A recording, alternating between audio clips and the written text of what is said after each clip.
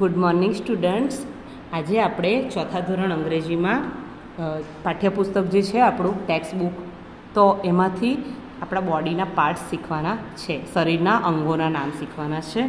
હવે હું તમને ચિત્રમાં છે, આપેલા એ પ્રમાણે બોડીના પાર્ટ સમજાવી દઉં છું, બરાબર? અહીંયા સુનિલનું ચિત્ર આપેલું છે અને થોડા વાક્યો પણ છે. એ વાક્યો આપણે બીજા વિડીયોમાં સમજીશું. હમણાં એકવાર તમે એના બોડીના પાર્ટ્સ શીખી લો, બરાબર? જોઈ લો. તો કે એચ ઈ એ ડી હેડ એટલે માથું. એચ એ હેર એટલે કે વાળ. એનો એસી નોઝ એટલે નાક. ઈ વાય ઈ આઈ એટલે આંખ. L I P S lips એટલે હોઠ. ઈ એ આર ઇયર એટલે કાન. મોસ્ટલી બધાને ખબર છે કે કાનથી આપણે સાંભળીએ છીએ. હવે છે teeth T double E T S teeth એટલે કે દાંત. સી એચ આઈ એન ચીન એટલે કે એની ડાળી સી કે નેક એટલે ગળું S H O U L D E R shoulder એટલે ખભા C H E S T chest એટલે એની છાતી છે. છાતીને ગુજરાત, ઇંગ્લિશમાં ચેસ્ટ કહેવાય. C H E S T chest, બરાબર?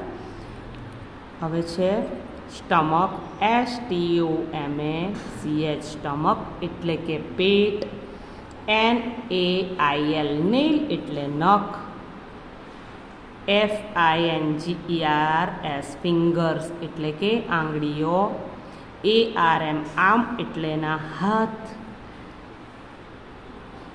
કે એન ડબલ ઈ ની એટલે ઘૂંટણ બે ઘૂંટણ છે એના E L B O W elbow એટલે આ કોણીનો ભાગ છે ને, એને એલ્બો કહેવાય. બરાબર? W A I S T waist એટલે કમર. આ વેસ્ટ એટલે એની કમરનો ભાગ થયો. આ વેસ્ટ કમર છે. બરાબર? એલ ઈ જી લેગ એટલે પગ. ટી ઓ ઈ ટો એટલે પગનો અંગૂઠો. H double E L heel એટલે પગની એડી. F double O T foot એટલે પગનો પંજો. આ થયા તમારા બોડી પાર્ટ્સ હવે આમાં જે વાક્યો છે એ હું બીજા વિડીયોમાં મૂકીશ અને આનું ચિત્ર હું મૂકીશ. એમાં તમારે સ્પેલિંગ ઉચ્ચાર અને અર્થ ત્રણ વાર લખવાના પણ છે અને મોઢે પણ કરવા- કરવાના રહેશે. બરાબર? બધાય અંગ્રેજીની નોટમાં લખવાનું છે.